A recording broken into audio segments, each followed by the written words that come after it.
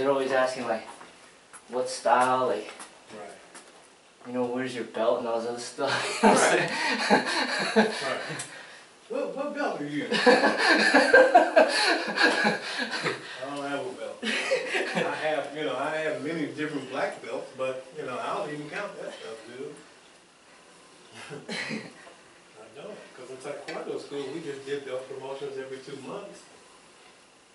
And then, um, and in the Dragon Academy, with Jose Domingo, the young police officer, they did belt promotions, I think, maybe every three months, but predominantly, he just, he, he mainly did belt promotions for, for the children. Yeah, yeah. You know, to help give them a, self, a sense of achievement, you know? Yeah. Because the adults, it was like, man, we don't because he knew like, we don't no belts, dude. Just here to get it, you know? So, you know, it didn't matter to us.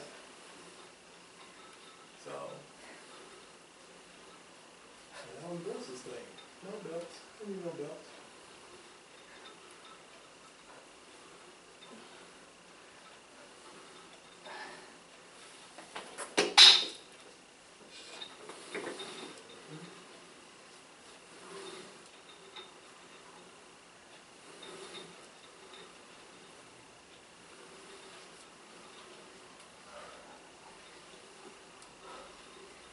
Yeah.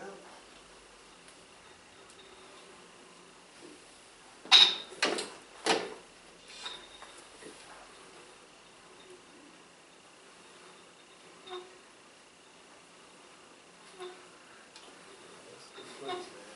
It's a good place. Yeah, it's like, it's to meet people that really are into the martial arts, you know? Mm-hmm. Yeah. People that get it.